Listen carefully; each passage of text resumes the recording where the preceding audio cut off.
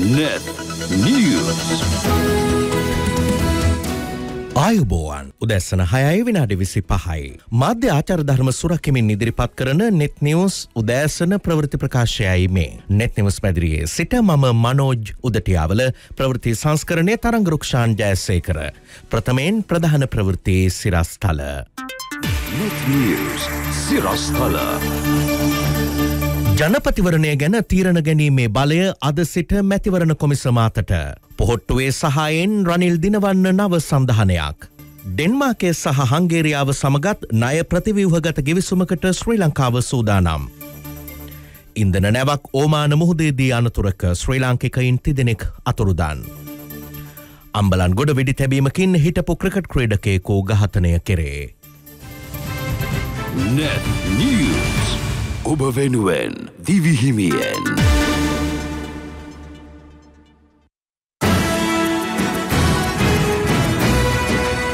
Net News. Net News.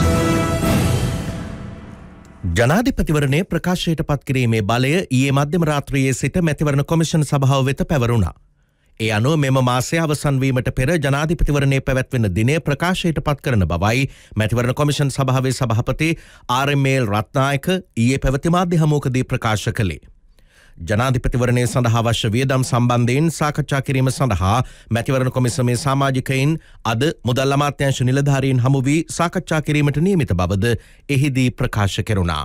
දෙදස් විසි හතර වර්ෂ ඉදිරිපත් කරපු ඒ අයවැය යෝජනා සඳහා අපි eh, ඡන්ද විමසීමට බිලියන 10ක මුදලක් ඉල්ලා සිටියා. ඒ බිලියන 10 ප්‍රතිපාදන අපට ලබා දීලා තියෙනවා. ඒ අනුව අපි ඒ බිලියන 10ක මුදලින් මේ වන විට අවශ්‍ය වියදම් සිදු කරමින් පවතිනවා ඡන්ද විමසීම සම්බන්ධයෙන්. මුදල් ලබා ගැනීම සම්බන්ධයෙන් මේ වනතේ කිසිම ගැටලුවක් සිදු වෙලා නැහැ. ඒ වගේම අපි බලාපොරොත්තු වෙනවා තවදුරටත් අපි මුදල් ලබා ගන්නා ක්‍රමය සහ අනිකුත් කටයුතු පිළිබඳව සාකච්ඡා කරන්න මුදල් අමාත්‍යාංශයේ නිලධාරීන් සමග සමග සාකච්ඡා කරන්න ඒක සාමාන්‍ය සම්ප්‍රදායිකව සිදුවෙන සාකච්ඡාවක් ඡන්ද විමසීමක් පැවැත්වීම ආසන්නේ. මුදා සම්බන්ධයෙන් දැනට කිසිදු ගැටලුවක් නැහැ.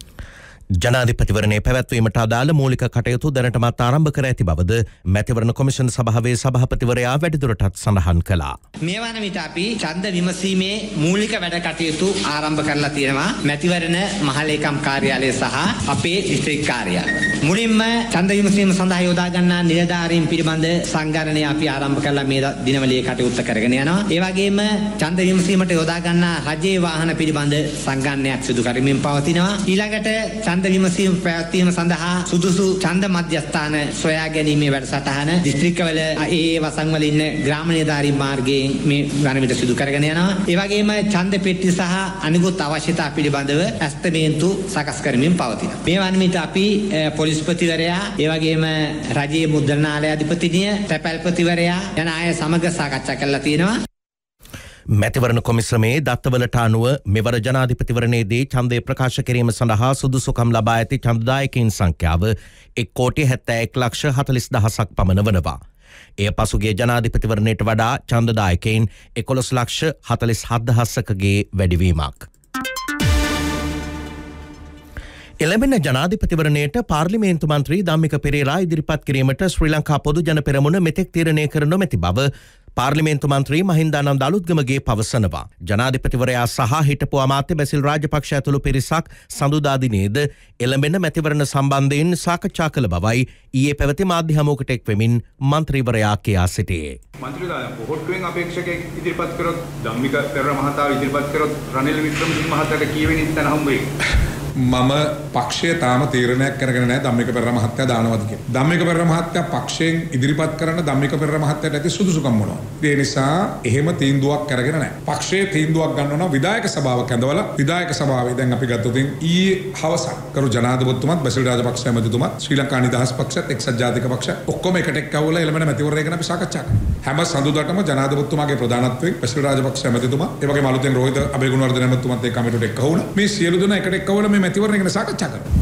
දැන් මන්ත්‍රීතුමා අපිට පොඩි ආරංචියක් තියෙනවා දැන් පොහොට්ටුවෙන් යෝජනාවක් තියෙනවා කියලා ජනාධිපතිතුමාට සජබෙන් 25ක් ගෙනාවොත් එතුමාගේ අපේක්ෂකත්වය පිළිගන්නවා කියලා. එහෙම කොන්දේසි දාන්න පුළුවන්ද මැතිවරණය? පක්ෂයකට පුළුවන්ද අරගෙන මෙච්චරක් ගත්තොත් අපි මෙච්චරක් එනවයි කියලා කියන්නේ. රනිල් වික්‍රමසිංහ මහත්තයා කිව්වොත් එහෙම ඔයගොල්ලන්ගෙන් ගියපු අර කට්ටිය ආපහු ගන්න මම ඔයගොල්ලන්ම ගන්නම් කියලා කිව්වොත් හරියද? ඒවා නිකන් මත. පොහොට්ටුව කවදාවත් එහෙම කියලත් නැහැ. ඒවා නිකන් මේ මිනිස්සු හදන සමාජ මත. තව කෙනෙකුට කියන්න පුළුවන් එන පොහොට්ටුවෙන් ගියපු අය ගන්න. ඔයගොල්ලෝම අපි ගන්නවයි. එහෙම නැහැ. ඒවා සමාජ මත. එහෙම කිසිම දෙයක් නැහැ. එළඹෙන මේ වෙලාවේ අපි ඉන්නේ රට වෙනුවෙන් මේ වෙලාවේ මේ ආර්ථික අර්බුදයෙන් මේ රට නැවත ගොඩ ගන්න පුළුවන් කොහොමද කියන ස්ථාවරය තමයි අපි. අපේ එකම කොන්දේසි ඔච්චරයි. ඩෙන්මාර්කේ සහ හංගේරියාව අතර ණය ප්‍රතිව්‍යගත කරන ගිවිසුමකට අත්සන් තැබීමට ශ්‍රී ලංකාව සූදානම් වනවා. ඒ අනුව ආර්ථික පරිවර්තනීය පනත ලබන විසි හතර වනදා පාර්ලිමේන්තුවට ඉදිරිපත් කිරීමටයි සූදානම් වන්නේ. එහිදී ජනාධිපති රනිල් වික්‍රමසිංහ මහතා විශේෂ ප්‍රකාශයක් සිදු කිරීමටද නියමිතයි. මේ අතර ජනාධිපති රනිල් වික්‍රමසිංහ මහතා එළමෙන ජනාධිපතිවරණයට ඉදිරිපත් කිරීම සඳහා නව සඳහනයක් පිටුවීමට සාකච්ඡා ආරම්භ වී තිබෙනවා. එම තොරතුරු ඇතුළත් දේශපාලන කරලියේ මෙතෙක් හෙළි නොකළ තොරතුරු ඔබ වෙතගෙන එන නෙත් නිවස් කනින් කොනින් ඇසුණු කතා විශේෂාංගය දැන්. කනින් කොනින් ඇසුණු කතා කනින් කොනින් ඇසුණු කතා අපට මුලින්ම කියන් සූදාන වන්න එළබෙන ජනාධිපතිවරණය ගැන. ජනාධිපතිවරණය ගැන ගොඩක් තිබිච්ච සැක සංකා මේ වෙදි දුරස් වෙලාන් තියෙන නඩු දෙකක් තිබ්බ නඩු දෙකම ශ්‍රේෂ්ඨාධිකරණ ඉවතර දැම්ම. දැන් කට්ටිය හැම පක්ෂයක්ම වගේ ඊළඟ ජනාධිපතිවරණය දිනන්නේ කොහොමද කියලා ප්ලෑන් එක ගහන ගමන් ඉන්නේ. අලුත් මාරංචිය ඔබට කියන් සූදානම් වන්නේ ඉස්සෙල්ලාම. හැම සෞදම ජනාධිපති කාර්යාලයේ විශේෂ රැස්වීමක් තියෙනවා. ඇත්තටම මේ රැස්වීමක් කොතේ මේක එහෙමනේ මේ විශේෂ සාකච්ඡාවක්. මේ සාකච්ඡාව පැවැත්වෙන්නේ රනිල් වික්‍රමසිංහ වර්තමාන ජනාධිපතිවරයාව යලි ජනාධිපති බවට පත් කිරීමේ ප්ලෑන් එක මේකට එනාය කවුද කියලා හොත් එහෙම ඔබට පුතුම හිතේ. මේකට එන්නේ බැසිල් රාජපක්ෂ අ, ශ්‍රී ලංකා පොජ්ජන පෙරමුණේ හිටපු ජාතික සංවිධායකවරයා නිර්මාතෘවරයා ඔහුගේ මූලිකත්වයෙන් තමයි මේ වැඩේ ක්‍රියාත්මක වෙන්නේ. ඒ විතරක් නෙමෙයි අග්‍රාමාත්‍ය දිනේෂ් ගුණවර්ධන නිමල් සිරිපාල්ද සිල්වා අන්ඩ්‍රයාපා ඒ වගේම ප්‍රසන්න රණතුංග මනුෂ්‍ය නායකාර හරින් ප්‍රනාන්දු කංචන විජේසේකර තිරාන් අලස් මහින්දානන්ද අලුත්ගමගේ කියන අයත් මේ වැඩේට සම්බන්ධ වෙනවා කියලා තමයි කණින් කොණින් ඇහුණු කතා අපිට වාර්තා වෙන්නේ. මේ සාකච්ඡාවල ප්‍රතිඵලයක් විදිහට අලුත් සන්ධානයක් බිහි කිරීම සිද්ධ වෙනවා ලබන සතියේ. මේකට නම් හයක් විතර මේ වෙද්දි ඇවිල්ලා තිනවා. ඒවා දීලා තිනවා ඝන බලන්න ඝනෙන් බලලා ලස්සනට බලලා සන්ධානයක් උනම් ඉතින් දාන්න එපා. මොනවා වුණත් ඉතින් දේශපාලන ශ්‍රී ලංකාවේ ජ්‍යොතිෂයත් කොහෙන් හරි ගෑවෙනවනේ. නමකට හරි ජ්‍යොතිෂය ගෑවෙනවා. දැන් මේ නම් ටික දීලා තිනවා ඝන බලලා ලස්සන හොඳ නමක් රයිම් වෙන නමක් කියන්නේ. දැන් හංසය ලකුණ ගනී කියලා සමහර තැන්වල කතා වුණත් දැන් හංසය ලකුණ ගන්නේ නැතුව අශ්වයා නැත්තං නැව කියන ලකුණ ගණ්ඩ තමයි අ, සූදාන බනි දැන් නව සන්ධානයක් ගහොත් පක්ෂයක් තියෙන්න්න පැ පක්ෂයකින් තමයි ඉදිරිපත්වෙන් නොති ඉටස් පක්ෂ අර්ගෙන පක්ෂණ වෙනස් කරලා. හැබැයි ඒ ලකුණ අනිවාරෙන් ගන්න නතු අශ්වයා එහෙමනත්තං නැව කියන අ, ලකුණ අරගෙන ඉස්සරහට යන්තම බලාපොරොත්තුවෙන් අස්වය ගන්න ටිකක් වේගෙන් ඉස්සරහට යනවා වගේ අ, සංකේතයක් නිරූපණය කරන්න. නැවගන්නේ අ, ගිලෙන නැතුව ඉදිරියට අරගෙන යන වගේ සංකේතයක් අ, මිනිස්සුන්ට ජනිත කරන්න. මේ දෙක එකක් බෞද්ධට අශ්වයාව ගනී කියල්තම විශ්වාස කරන්න. ලබන සතියේ මේ සන්ධානයනවා රනිල් වික්‍රමසිංහ වර්තමාන ජනාධිපතිවරයාව ජනාධිපති බවට පත් කිරීම යළිත් වතාවක් ජනාධිපති පුටුවේ ඉඳවීමේ ආරමුණෙන් තමයි මේ වැඩේ සිද්ධ වෙන්න කියලා වාර්තා වෙනවා. දැන් පොහොට්ටුවේ ස්ථාවරය මොකක්ද ඊළඟ ජනාධිපතිවරණයේදී කියලා බොහෝ දෙනෙක් කතා කරමින් ඉන්න අතරතුරේදී දැන් මේ දවස්වල එක්සත් ජාතික පක්ෂ සංවිධානය කරන රැලි රැස්වීම මේවා ඔක්කොමත් ශ්‍රී ලංකා පොජ්ජන පෙරමුණේ ඉන්න කට්ටියගේ මෙහෙයවීමේ මැදිහත් වීමෙන් මූලිකත්වයෙන් සහභාගීත්වයෙන් සිද්ධ වෙනවා කියලා දැන් එලිපිට පේන්න තියෙන කාරණයක්. ওই වගේම දෙයක් සිද්ධ වුණා මහනුවර. මහනුවර UMP රැස්වීම තිබ්බා. මේකට සෑහෙන මහන්සි වෙලා තියෙන්නේ ඇමති මනුෂ්‍ය නායකකාරය විතරක් නෙමෙයි පාර්ලිමේන්තු මන්ත්‍රී මහින්දානන්ද අලුත්ගමගේ. බස් එහෙම ගෙනල්ලා දීලා තියෙන එකේ වගේම අ, අරවා මේවා ඔක්කොම ටික කරලා තියෙන්නේ ඇමති මනුෂ්‍ය කියලා තමයි වාර්තා වන්නේ. බස් එහෙම පිරෙන්න ඇවිල්ලා තියෙනවලු පාරවල් පිරෙන්න කියලා තමයි අපිට වාර්තා වෙන්නේ. සමහරු කියනවනේ මේ පොහොට්ටුව තනියම යන්න ඕනේ. ඒ වගේම සවත් සමහරු කට්ටියක් කියනවා නෑ පොහොට්ටුව රනිල් වික්‍රමසිංහ ජනාධිපතිවරයාට එකතු වෙලා යන්න ඕනේ. මේකනේ දැන් සෑහෙන කාලයක් තිස්සේ තිබිච්ච සංවාදය. හැබැයි දැන් අ, විශේෂයෙන්ම පොහොට්ටුවේ ජ්‍යෙෂ්ඨයෝ ප්‍රබලයෝ කියන්නේ වර්තමාන ජනාධිපති රනිල් වික්‍රමසිංහ ජනාධිපතිවරයාත් එක්ක එකතු වෙලා මේ ගමන යන්න ඕනේ පොහොට්ටුව එහෙම ගියොත් තමයි වැඩේ ලේසි කියලා තමයි කියලා තියෙන අලුත් අපේක්ෂකෙක් දාන්න නැතුව. කොහොම හරි ඔය කියලා තිබ්බා කියලා කියනවනේ පොහොට්ටුව කිව්වා කියලා මේ සජිබෙන් 20ක් ආවොත් අපි අපේ සහයෝගය දෙනවා. ඔය වගේ කතා. ඔය අතරතුරේදී සජිබෙන් කිව්ව කියලා කියනවල්ල මේ නාමල් ස්ටේජ් නගින නැත්තන් එයාලනවා එකන් රාජපක්ෂරු නැත්තන් එයාල සහයෝග දෙනවා කියලා. ඔය ඉතින් මොන වගේ දේවල් ඔය එක කේවල් කිරීමලට මේ වෙද්දි රනිල් වික්‍රමසිංහ ජනාධිපතිර එච්චර කැමති නෑ. ඔය එක ඩිමාන්ඩ් කරන වැඩවලට කියලත් දැන් ඔන්න කනින් කොනින් ඇහුණු කතා අපිට වාර්තා වෙනවා. දේශපාල ලෝකේ කතා වෙන විදිහට රනිල් වික්‍රමසිංහට වර්තමාන ජනාධිපතිවරයාට නම් නාමල් රාජපක්ෂ ශ්‍රී ලංකා පොද්ජන පෙරමුණේ ජාතික සංවිධායකවරයාත් එක්ක කිසිම අවුලක් නෑ කියලා තමයි වාර්තා වෙන්නේ. පොහොට්ටු අතක වැඩ කරගෙන යන්නත් රනිල්ට කිසිම අවුලක් නෑ කියලා තමයි දැන් වාර්තා වෙමින් තියෙන්නේ. දැමෙන් අලුත් කතාවක්. දේශපාන ලංවෙදදි දෙපැත්තර පයිනව ගොඩක් සිද්ධ වෙයි. ඒකේ අපි පයිනව කීපයක්ම කිවන කාටත් කලින් කිවන අපි ඩල සලහ පෙරුම මහාචාර චරිත හේරත් වගේ අය සජපටීම එකට පයිනව කියලා කවුරු විශ්වාස කර නැතිකාල්තම අපි කිවේ දැඟබට කියන් සුදන වගේ ඒවගේ තවත් කතාව දෑසිරි ජයසකර පාර්ලිමෙන්තු මන්ත්‍රීවරය දැසිරි ජයසකර පාර්ලිමෙන්තු මන්ත්‍රීවරත් ළඟදීම තමන්ගේ සහයෝගේ සජබට දෙන්න සූදාන වෙනවා කියලා වාර්තාාවනවා ඒ මේ සම්බන්ධයෙන් විශේ සාකච්ඡාවකුත් තිබිලතින මේකට රංජිත් මදුම් බණ්ඩාර සුජීව සේනසිංහ එයාගේම ලක්ෂ්මන් ෆොන්සේක වගේ සහ සහභාගලතින වගේ දෑසිරගේ පාර්ශවයෙන් ඔහුට සහයෝගේ දක්වන පිරසකුත් ඇවිල්ලතින හැබයි දෑසිර ජයසකර මේකට ඇවිල නෑ කියල්තම වාර්තාවන්නේ කොහොම වෙත දෑසිර ජයසයකරගේ ආශිර්වාදයෙන් කැමැත්තෙන් තමයි මේ සාකච්ඡාව තිබ්බ කියලකයන් සාමාන්‍යකිතින් දෑසිර සජිත් කියන්ති දීර්ඝ කාලන මිතුදමක් තියෙන දෙන්නෙක්. ඔය කාලයක් තිබන්නේ දෑසිරම කියල් තිබුණනේ සජිත්තමයි UMP නායකය කරන්න ඕන කියලා. ඒහින්ද ඇතින් මේ ගැන එච්චර පුදුමෙන්ට දෙයක් නෑ කියල්තමයි සජබ කට්ටිය නම් කියන්නේ. ඒවගේම ලබන විසිදක විසියට පාර්ලිමේන්තු සතියෙද්දී සජබ පිරිසක් රනිල් වික්‍රමසිංහ ජනාධිපතිවරයට සහයදීමට නියමිතව තියනෝ කියලා වාර්තාාවෙන විසිහතර හෝ විසි පහවගේ දවසක රනිල් වික්‍රමසිංහ ජනාධිපතිවරයා යළිතව පාර්ලිමේන්තු අමතා ප්‍රකාශයක් සිදු කිරීම නියමිතව තියෙන කියලත් වාර්තාාවෙන ඊට පස්සේ මේ පැත්ත මාරු කිරීම සිද්ධවේ කියල්තමයි වාර්තාාවෙන්නේ. ඒවගේ දැන් විපක්ෂ කට්ටිය කතාවෙන ජනාධිපතිවරණයකට කලින් පාර්ලිමේන්තු මැතිවරණයක් එන්නත් පුළුවන් බැරිකමකුත් නෑ මේ තියෙනස්සේ ඔය ජරමර ඔක්කොමත් වෙන්න පුළුවන් කියලත් කතා වෙනවා කියලා විපක්ෂ කට්ටියත් ඔන්න දැන් කියන්න ලෑස්තලා ඉන්නවා මේ දවස්වල. මාලිමාවෙන් ඊළඟට පාර්ලිමේන්තුයයි කියලා කියන සමහර කට්ටිය කරන ප්‍රකාශ සම්බන්ධය මේ දවස්වල මාලිමාවේ නායකන්ගේ දැඩි අවධානය යොමුලා තිනවා. එය මාධ්‍යවේදීන්ට දාන එක සද්ද ගැන සමහර රැස්වීම් වලදී කරන කතා ගැන මේ ඔක්කොම ගැන මාලිමාවේ නායකන්ගේ අවධානය යොමු වෙලා තිනවා කියලා දැන් වාර්තා වෙනවා. ඒ වගේම ජනාධිපතිවරණය වෙනකන් ගුරු වර්ජන එහෙම බැඩ වර්ජන එහෙම කරන්න එපා කියලා මහින්ද ජයසිංහ ඇතුළු පිරිසට දැනුම් දීමකුත් මාලිමාවෙන් කරලා තිනවා කියලා තුන්න කණින් කොණින් ඇහුණු කතා විදිහට අපිට වාර්තා වෙනවා. අලුත් මානාවකයක් කියන්නකෝ මතකතියාගන්නක ජනාධිපතිවරණය. කවද තියයිද? බොහෝයි බොහෝ දේවල් කියන වාර්තාාවන විදිහට ජනාධිපතිවරණය සැත්තැම්බර් විසි අට.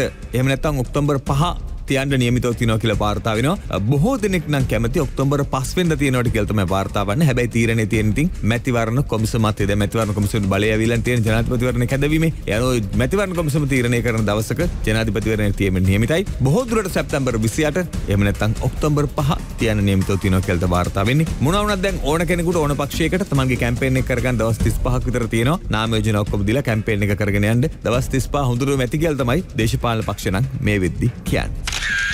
දේශපාල වේදිකාවේ තිරේ පිට පස තවත් කතා එක් අපි හම්බෙනවා ලබන සිකුරාදාත්. කනින් කොනින් ඇසුණු කතා කනින් කොනින් ඇසුණු කතා.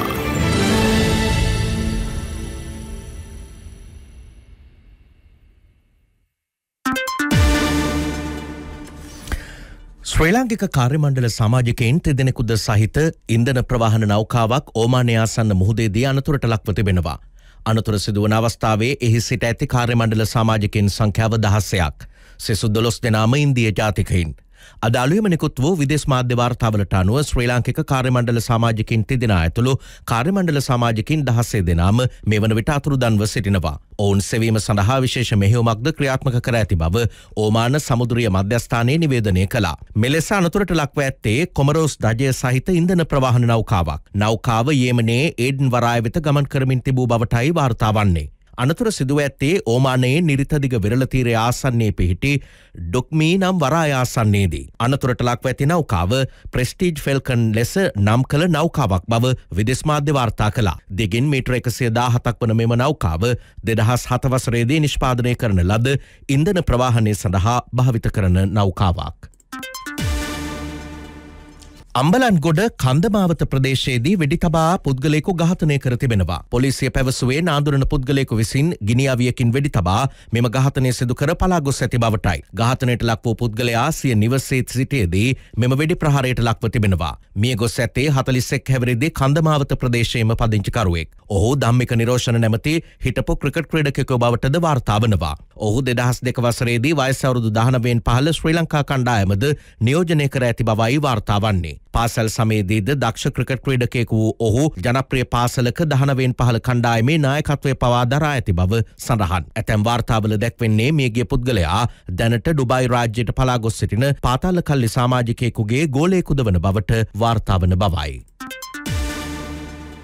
දේශපාලනය සහ විධ නීති විරෝධී ක්‍රියාතර ඇති සබඳතාව පිළිබඳ නෙතෙෆෙම් අන්ඩමිටඩ් කණපිට වැඩසටහනේදී ඒ රාත්‍රයේ සාකච්ඡා කෙරුණා. මේ ඊටෙක් වූ අපරාධ නීතිය පිළිබඳ විද්වතක වන ජනාධිපති නීතිඥ යුආර්ද සිල්වා. මනාප ක්‍රමේ වැරදි විදියට ප්‍රයෝජන ගන්න අපේ දේශපාලඥයන්ට වුණා. ඔවුන්ගේ මනාප වැඩි කරගන්න, පුද්ගල සංඛ්‍යාව වැඩි කරගෙන ඊට අමතරව භයානකම තත්ත්වෙ වෙන්නේ ඔවුන් බලයට පත් වුනහම ඒ අයට යම්කිසි දීමනාවක් දෙන්න ඕන. දොළපිදියනි දෙන්න ඕන. ඒකට කලේ රජයේ ආයතනවල තියෙන පාරවල් හදන එක, බෝක්කු හදන එක, පාලම් හදන එක, ඒ ව්‍යාපෘති සියල්ලම ඔවුන්ට දුන්න ඇති වෙන්න ඒවා හම්බ කරගන්න. ඊට පස්සේ ඒගොල්ලෝ මොනම අවියායද පාවිච්චි කළා. ඒවට කිසි ප්‍රයෝජනයක් ගත්තේ නැහැ. පොලිසිය එදිද්‍රාගත වෙලා හිටියා. මෙම වැඩසටහන සඳහා අපරාධ වාර්තාකරණය පිළිබඳ මාධ්‍යවේදයෙකු ලෙස කටයුතු කරන ගයන් ගාල්ලගේද සහභාගී වුණා. දේශපාලඥයන් විසින් ජනතාව හිත්‍රදීම ඇතුළේ ඒ දේශපාලනයට වෙන යම්කිසි හානියක් පරිහානියක් සම්බන්ධ දැන් ජනතා සතුරෙන් තරකට පත්වෙලා තියෙන්නේ. ඒ නිසා ඔය අපි කියනවනේ හැම ඝාතනයක් කතාවම අවසානයේ එන එක්ක දේශපාලඥයෙක් ඉන්නවා නැත්නම් පොලිසිය ඉන්නවා.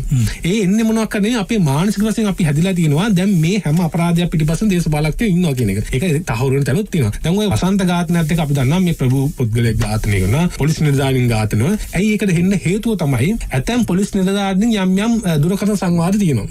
ඒ දුරකථන සංවාදය අහුවාන් පස්සේ ඇත්තටම අප්‍රසන්න හිතුණා මේ පොලිස් නිලධාරීන් සම්බන්ධයෙන්. මේ කතා කරන්න අර ලීක් වෙච්ච හඬ ලීක් වෙච්ච. හිතාමතාම ඒ අපරාධ කරුවන් හිතාමතාම ලීක් කරනවා. ඉතින් ඒ පොලිස් නිලධාරීන් සම්බන්ධව එතකොට මොකද්ද ජනතාවට එන මතේ? ආ මිනිස්සු තමයි මේ අපරාධ වල ඉන්නේ කියන්නේ. එතකොට ඉබේ මතයක් හැදිලා තිනවා මේ රැල්ලේ එක ඝාතන තත්ත්වයක් තමයි මේ පොලිස් කියන්නේ. මේ අතර නෙත් FM අන්ලිමිටඩ් වැඩසටහන අද රාත්‍රී 7:30ට ප්‍රචාරය කෙරෙනවා. පානදුර උතුර පොලිස් වසමේ පිහිටි ප්‍රකට හෝටලයක සිදුවන නීති විරෝධී ක්‍රියා සම්බන්ධයෙන් බලධාරීන්ගේ අවධානය යොමු වී නොමැති බවට වාර්තා වනවා. ප්‍රදේශවාසීන් පවසන්නේ මෙම හෝටලය තුළ රාත්‍රී 10න් පසුව මෙන්ම පොහොය දිනවලදීද නීති විරෝධී ලෙස මත්පැන් අලෙවි කරන බවයි. ඒ සම්බන්ධයෙන් සුරාබදු නිලධාරීන්ගේ පවා අවධානය යොමුව නොමැති බවට වාර්තා වනවා.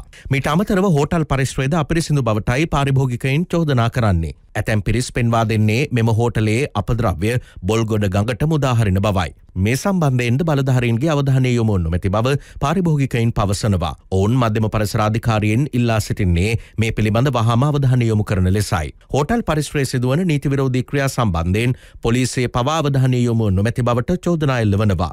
මේ පිළිබඳව පැමිණිලි කළද පොලිසිය නිසි පියවර නොගන්නා බවටයි චෝදනා එල්ලවන්නේ. මේ අතර පාතාලයට සහ විධ අපරාධවලට සම්බන්ධ පිරිස් නිරන්තරයෙන් මෙම හෝටලයට පැමිණෙන බවට වාර්තාවන සිද්ධීන් සම්බන්ධයෙන් පොලිස් විශේෂකාරය බලකායද පරීක්ෂණයක් ආරම්භ කර ඇති බවට පැවසෙනවා.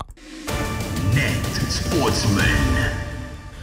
එල්පල් ක්‍රිකට් තරගාවලිය මූලික වටේ ඒ රාත්‍රයේ අවසන් වුණා. අවසන් තරගේ පැවැත්වුණේ දඹුල්ල සික්ස සහ කළම්බු ස්ට්‍රයිකර්ස් යන කණ්ඩායම් අතරයි. තරගේ ප්‍රථමයෙන් පන්දුවට පහර දුන් දඹුල්ල කණ්ඩායම ලකුණු 123ක් රැස් කළා. පිළිතුරු ඉනිම ක්‍රීඩා කළ කොළඹ කණ්ඩායමට සියලු දෙනා දැවී රැස් කරගත හැකි වූයේ ලකුණු 95ක් පමණයි. මෙම තරගේ ජයගත්තද දඹුල්ල කණ්ඩායමට තරගාවලියෙන් ඉවත් වීමට සිදු වුණා. මූලික වටේ තරග 20ක් අවසානයේ ප්‍රසාද ලකුණු සටහනේ පෙරමුණේ පසුවන්නේ ගාල්ල කණ්ඩායමයි. දෙවන ස්ථානයේ යාපනයේ කණ්ඩායමටද තුන්වන ස්ථානයේ කොළඹ කණ්ඩායමටද හිමිව තිබෙනවා. සිව්වන ස්ථානයේ පසුවන්නේ නුවර කණ්ඩායමයි. ඒ අනුව මෙම කණ්ඩායම් හතරම තරගාවලියේ අවසන් වටයට සුදුසුකම් ලැබුවා. අවසන් වටය හෙට ආරම්භ වීමට නියමිතයි.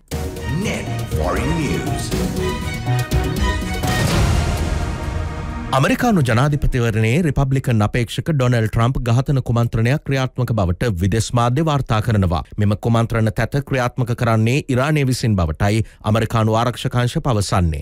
මෑතකාලීනව අමරිකානු බුද්ධ්‍යංශ වෙත ලද තොරතුරුවලින් මෙම ඉරාන ගහතන කුමන්ත්‍රණය පිළිබඳ තොරතුරු අනාවරණ කරගෙන ඇතැයි සඳහන්. මේ පිළිබඳ තොරතුරු අනාවරණ වන්නේ අමරිකානු ජනාධිපතිවරණයේ රිපබ්ලිකන් අපේක්ෂක ඩොනල් ට්‍රම්ප් ඉලක්ක කර ඉකුද්දා එල්ල වූ වෙඩි ප්‍රහාරයෙන් පසුවයි. කෙසේ වෙතත් මෙම වෙඩි ප්‍රහාරය සහ ඉරානයේ ගහතන කුමන්ත්‍රණය අතර සම්බන්ධයක් ඇත්දැයි අනාවරණ කර නැහැ.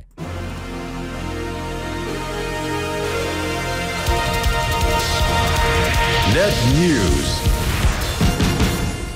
නෙත්නිවස් නිමාව මිළඟ නෙත්නිවස් දහවල් දොළහට එතෙක් පෑන් පැය නෙත් ටොප් නිවස් ඔෆ්දියාව බලාපොරොත්තු වන්න. වැඩිතොරතුරු සඳහා නෙත්නිවස් YouTube නාලිකාවට සහ නෙත්නිවස්.ල්ක අපගේ වෙබ් අඩවියට පිවිසන්න. Net News.